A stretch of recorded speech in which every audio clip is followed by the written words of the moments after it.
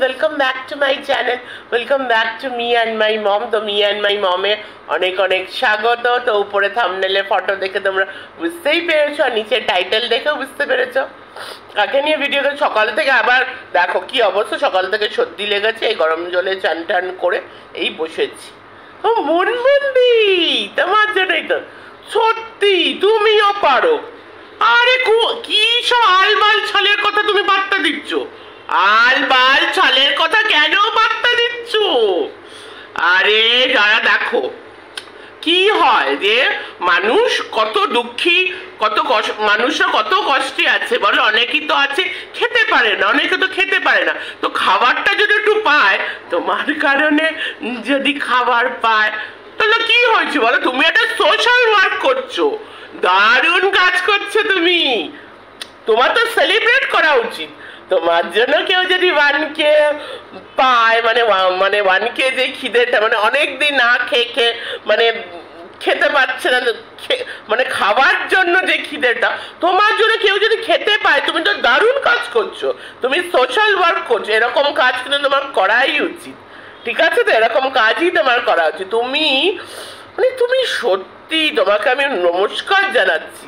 তোমার এত তুমি ভালো মানুষ, এত বড় মন এরকম অল বল ছল বুইন, মোষ, কালো মোষদের এত পাত্তা দিচ্ছ? যাই হোক, আমি আর ওই দিকে যাব না, তবে মোষ হু করে করে, হু করে করে আমার দিকে আসবে। ও, তুই মেয়ে, তুই উ, তুই মেয়ে না ছেলে রে? উ, তুই মেয়ে না ছেলে, এইসব বলবে। যাই হোক যাই হোক ওই নোংরামি মানে ছোট লোকদের মুখ লাগি না আমি। ঠিক আছে, তুমি তো জানোই। তোমার তোমার কমিউনিটিতে কেউ যদি এসে হাগু করে, তখন আমি নিশ্চয়ই বলব। কারণ তুমি আমার দিদি, আমার দিদির হয় আমি নিশ্চয়ই প্রতিবাদ করব, আর বরাবরই প্রতিবাদ করব। সবসময় আমি প্রতিবাদ করব।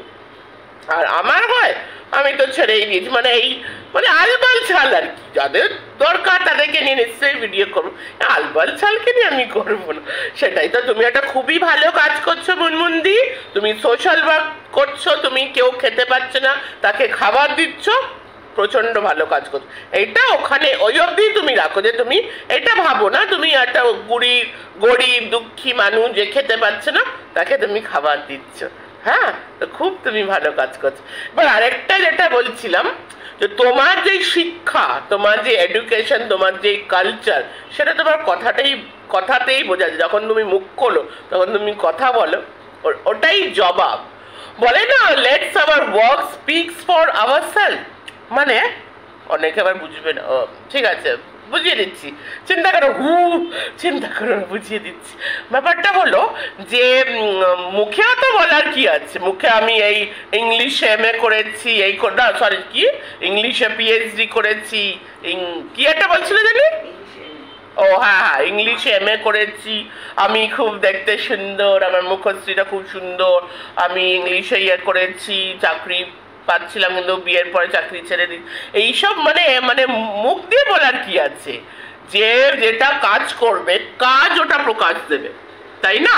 ধরো কেউ খুব সাকসেসফুল সে কি মুখে বারবার বলো, দেখো দেখো, আমার কত টাকা, আমি কত সাকসেসফুল কত আমি সাকসেসফুল তার কাজই এটা প্রকাশ দেয়। আজকে ধরো না, একটা আমি বলছি মুকেশ আম্বানি। সকাল থেকে সর্দি লেগেছে। মুকেশ আম্বানি মুকেশ আম্বানি কি বারবার এসে বলবে? আমি মুকেশ আম্বানি আমি মুকেশ কত কত আমার টাকা, কত কত আমার অ্যাচিভমেন্ট কত বিজনেস আমি করেছি, কত সাকসেস সাকসেস রেট কত, দেখো, কত আমার টাকা সেটা বলবে না।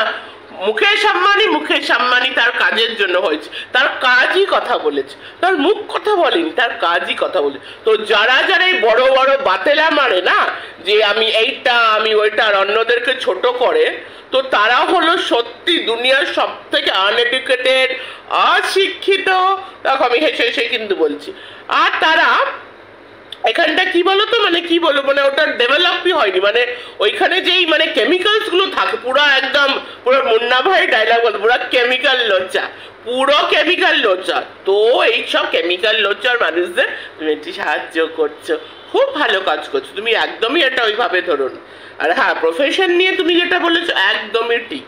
কারোর প্রফেশন তোলার কারোর অধিকার কারোর বাপের এখানে প্রপার্টি না। বাপের এটা কারোর বাপের জন্য এই চ্যানেল চলে না ওয়াইটি হ্যাঁ এখানে সবাই অধিকার আছে, সবার নিজের, সবার আলাদা আলাদা কন্টেন্ট আছে। যে যার চ্যানেলে যে, যেটা ইচ্ছা কন্টেন্ট দিতে পারে। সো কেউ এসে তোমার প্রফেশন তুলবে, বিনা কিছু জেনে, বিনা কিছু মানে কোনো একটা হঠাৎ করে একটা জাজমেন্ট একটা প্রফেশন নিয়ে তুলে দিল, এটা একদমই অ্যাকসেপ্টেবল না। এটা প্রতিবাদ তুমি সবসময়ই করবে, আর আমরা সবাই করব। প্রফেশন তোলা না প্রফেশন তোলা। তোমার ডিগ্রিগুলো একটু দেখাও না গো। তুমি আদেও ইংলিশে কি করেছ, ওইগুলো দেখাও না। যত সব মানে কোথার থেকে যে এরা আসে, আমি বুঝতে পারি না।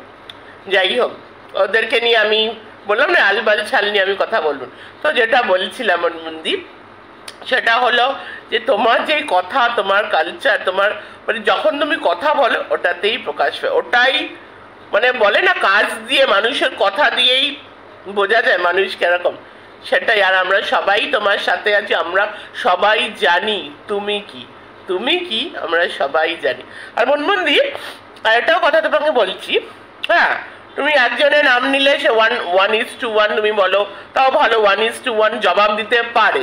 যদি, কিন্তু আমার একটা প্রশ্ন আছে, যদি ওয়ান ইজ টু ওয়ানই জবাব দেয় তাহলে কাউকে কমিউনিটিতে তুলে, কাউ বাজে জিনিসকে সাপোর্ট করা যে আরেকজনের প্রফেশন তুলে কথা বলছে, তো সেটা ওয়ান ইস টু ওয়ান হয় না। তো তাহলে আমি তাকে ওই পার্টিকুলার ওই ভিডিওতে আমি তাকে কমিউনিটি দেব না। হ্যাঁ তার, হতে পারে যে তার মনে মনে খুব ভালো লেগেছে যে সে যাকে সহ্য করতে পারেন, তার হয়ে সে সব বলছে। কিন্তু ওরকম লিখে দেওয়া কমিউনিটিতে একদম উনি টিচারই না টিচারের নামে ইয়ে এইসব লিখে দেওয়া। তবে ইনডাইরেক্টলি আমরা এই বাজে জিনিসটাকে সাপোর্ট করছি। তাহলে তো একটু ওয়ান ইস টু ওয়ান হলো না। তাহলে তুমি এটা আরেকজনের থ্রু দিয়ে তুমি এটা করছ।